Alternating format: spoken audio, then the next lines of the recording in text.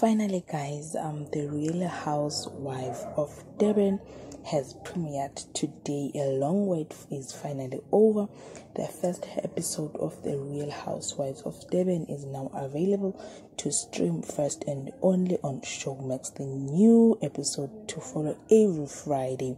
Of course, housewife is used loosely here, while lavish lifestyle, high fashion, and parenting challenges will certainly be on the show menu. The cast of Real Housewife of Durban as um, basically self-empowered women who run their own businesses empire.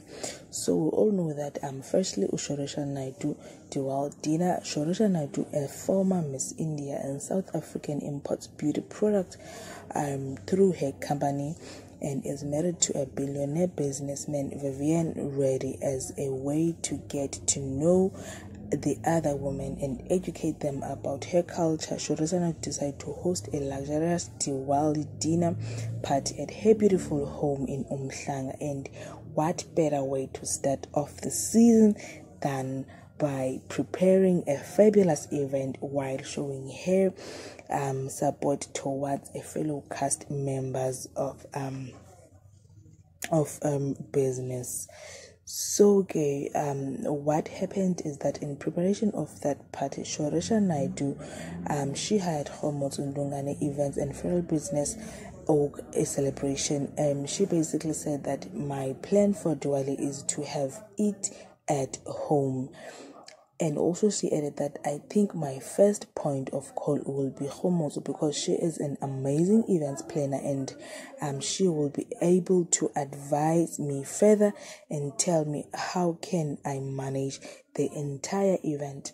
So additionally, in the um, spirit of supporting each other, Kgomotso is married to a former Springbok Odwa Ndungane continues to trend and hires a fellow housewife, Annie um, Dance Agency, Leopard Print. I am so honored to be a part of this cast of beautiful, smart, strong minded women. That what in has said, who is planning a white wedding of Durban um, businessman Hokolo Mthembu um, and also owns Durban Luxury Beauty Salon and Nathastics as well as an event and marketing company. Each woman has taught me um, so many things about business growth and womanhood and how to be a successful in your marriage.